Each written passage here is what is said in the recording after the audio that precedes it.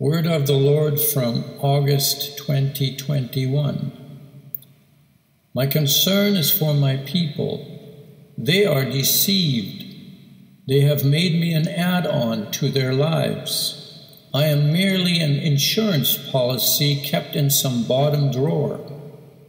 The whole world is mocking my name. Do my people care? Do you see how the whole earth is groaning under the heavy weight of sin? Why do my people refuse to see? Why are my people asleep? The hour is late. The enemy of your soul is not playing games. Why are you?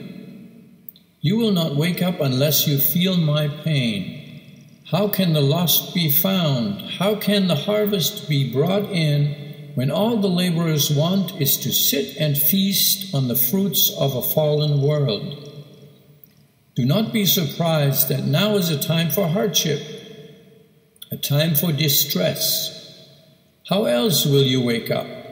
You say, Let us ask the Lord to quickly fix it, so that you can go back to your slumber. Do you not know what time it is?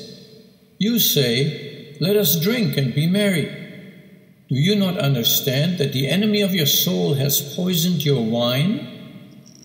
How can the blind lead the blind? Stop asking for heaven on earth. Stop asking for worldly riches which will last but for a moment. I have given you a man who was not my man, a man with eyes to see and ears to hear.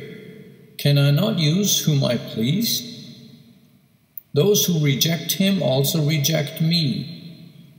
Many of you see with the eyes of the world and only hear what tickles your ears. I tell you, choose me above your worldly cares and I will give you eyes to see and ears to hear what the Spirit is saying.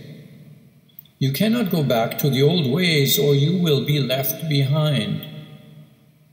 But the old ways were not so bad, you say.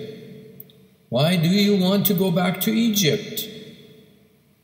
Behold, I am doing anew a final thing. I have prepared my fields for harvest.